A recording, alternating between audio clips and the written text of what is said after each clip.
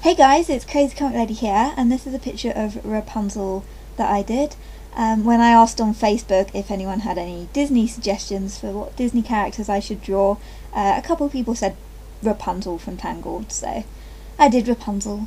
Even though I'm not like a major fan of this movie, I don't know why, I just never really enjoyed it that much. I think I've seen it twice, well, possibly once and a half, but yeah, I don't know, like I didn't really like the music in it, and there was only like one song I really liked, which was the one where she was singing uh, with all the lanterns in the sky, whatever that song was called. That's that was quite a quite a good song, but the rest of it was just a bit like okay. Also, I thought the ending was like really stupid because uh, how on earth would the king and queen recognize that she was their daughter? Because their daughter had beautiful blonde hair, and then this girl with short brown hair turns up. It's like they would have just turned around and said, "Who are you then?" Not, "Oh my God, you must be our daughter," just because you happen to turn up on her birthday.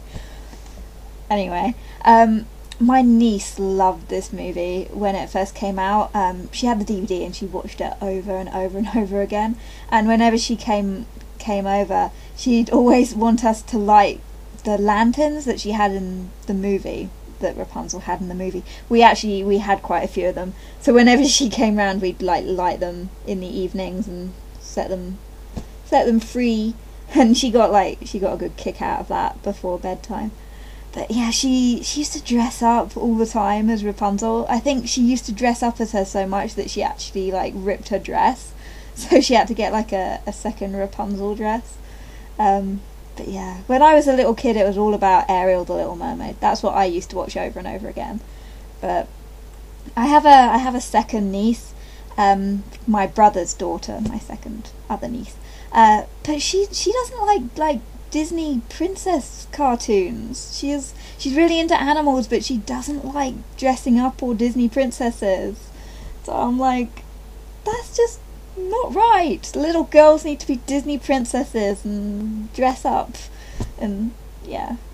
I think if I had a daughter, I'd be so upset if she didn't want to dress up as a Disney princess. I'd probably force her to. I'd be like, wear this Disney princess dress. You must be a Disney princess and be all pretty and just enjoy it.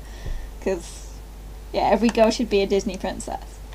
That's my my opinions on it. But yeah i used like the worst possible paper for this. Um, ages and ages ago on deviantart someone suggested that strathmore drawing paper was really good for prismacolor pencils and it's not. It's terrible. God this picture was like so so difficult and annoying to just try and colour. Like, oh, you couldn't blend on it. You couldn't like just. Oh, it's just yeah. I, I say no more. I just could not get the paper to work at all. It's like I don't know what the use of this paper is now, apart from sketching on, because it's too thin for markers, and it doesn't work well with crayons or with Prismacolors. So I have no idea what to use it for now.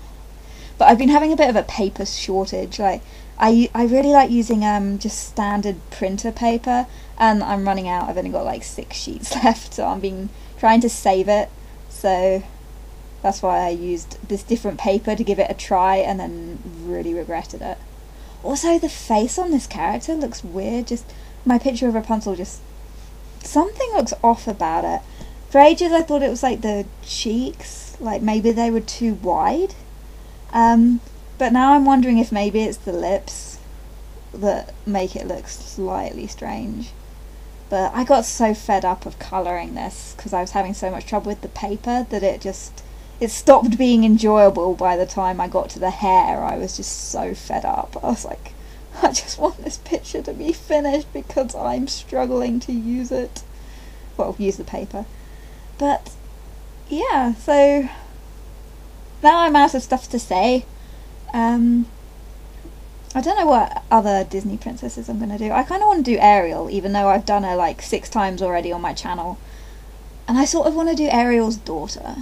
Just because, I don't know, people don't seem to do much fan art of, uh, of Ariel's daughter. So, I might do her. And I want to do Pocahontas. And maybe Bambi, because Bambi's cute and I've never drawn Bambi before. So anyway, uh, thanks for watching. I hope you enjoyed my picture of Rapunzel, even though the face looks a bit weird.